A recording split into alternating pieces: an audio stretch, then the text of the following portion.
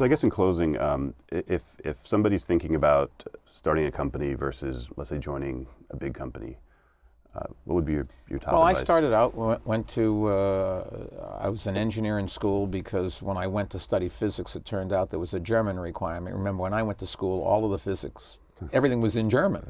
Uh, after three weeks in German class, I decided I wasn't going to make that. and so I became an engineer where there wasn't a language requirement. And then I went to business school thinking that I would go to a big company and use my engineering background. Uh, I went to Salomon Brothers, think, not knowing very much about Wall Street. Why? Because at the last minute, I was supposed to go to Vietnam. At the last minute, I didn't have to go because of flat feet, and I needed a job at the last minute.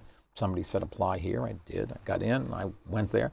Loved every minute of it. 15 years later, it was time to go, and they fired me. I'm fine.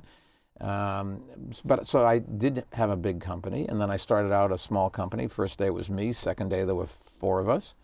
Uh, today there's 15,500 employees, and I know I, I, people always say to me, "Oh, we really miss you," and I said, "That's great. How long have you been here?" "Oh, five years." Well, I've been out of there for 11. so, um, but it's there's no ma- public service. Uh, has now been 10 years of my life. Um, I think there's an awful lot more commonality uh, than people think. It's hard work. It's being willing to stand up for what you believe. Uh, yes, big companies have more structure, but you have a little more security. Small companies, a lot less structure, but a lot higher payoff. Uh, in public service, the payoff isn't in dollars; it's in satisfaction. Uh, I, I would suggest trying all three. I mean, mm-hmm. that's what I've done. Now, maybe I was particularly lucky, and I think there was a lot of luck. There's always luck in everything. If you have a vision and you want to go do it, do it. If you um, uh, want to have be a part of a big company, I think it'd be a phenomenal experience. I, I have a, a, relative who, when got out of law school, got an opportunity to go to work for one of the best law firms in the country, turned it down for a small thing, and I thought to myself, you know, you can always go to a smaller company. It's harder to go up to a bigger mm. company. I would have preferred um, uh, to, uh, this person to start at the top uh, in a bigger company and, and get that experience. Yeah.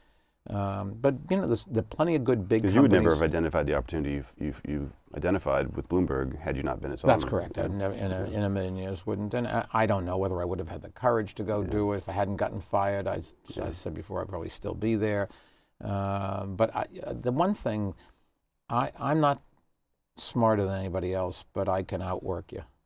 And uh, my key to success for you or for anybody else is make sure you're the first one in there every day and the last one to leave. Mm-hmm. Don't ever take a lunch break or go to the bathroom. You keep working.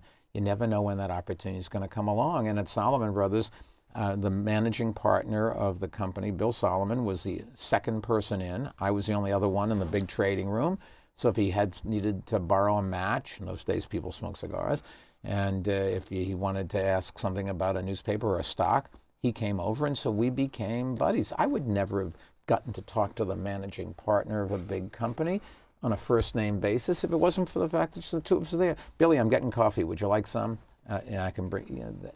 And at the end of the day, the number two guy, John Gutfreund, he was the last one to leave, except for me. And we'd share a cab going uptown or take the subway train going uptown together. And, you know, every opportunity I ever had, it was, I think a lot, a lot of them was because I was there at the time. And that's the one thing you can control. You, can con- you can't control your luck, but the harder you work, the luckier you get. You can't control uh, that you're the smartest guy. There'll always be somebody smarter. But if you're there, then you absorb things, you put things together in a ways that if you didn't have all that experience, it's like skiing. Uh, I've said reading a book on skiing doesn't teach you how to ski. Yeah. You got to go and you got to ski and get lots of miles under your skis. And incidentally, if you don't fall, you're not skiing hard enough and you're not learning anything. So if your career has ups and downs, I got fired, didn't turn out so bad but you know you can start a little business and maybe it doesn't work and after a while you got to be smart enough to say hey i tried it. Don't let your ego get in the way. I can't keep doing this. I've got to earn a living. But you know a year from now i'm going to come up with a better idea and then i'll go back and do it again. And have that drive to look at the bright side. And i've with the exception of um, I've always, I've never, there's never been a day that I haven't looked forward to going into work. Even the days I knew I was going to get beaten up, even the day I knew I was going to get fired. I'd never been fired before. I wonder what it's like. Mm-hmm. Okay, let's go find out. Yeah. And I've never looked back. I, I, I find it fascinating. People spend, and we're doing this in this country, we're spending all our time trying to blame people and figure out why we got to where we are now rather than focusing on how you get out of where we are now and make it better. And successful people look to the future, and unsuccessful people look to the back, look, look behind them.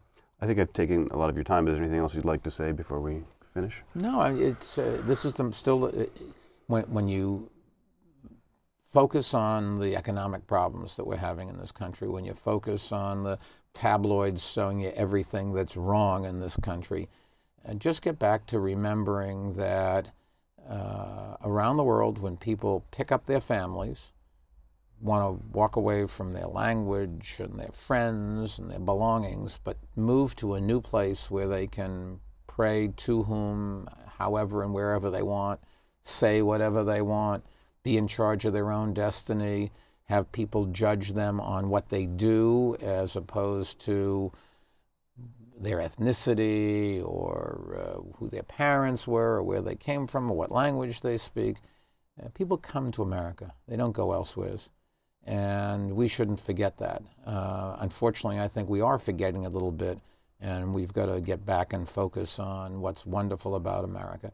And if you're an entrepreneur or you want to work uh, uh, raising a family, I, I think you know we measure success by well, how much money do you have? That's not the only measure of success. I know some very successful people who measure it by how many lives they've saved, or how many kids they've helped in the classroom, or how well they brought up their children.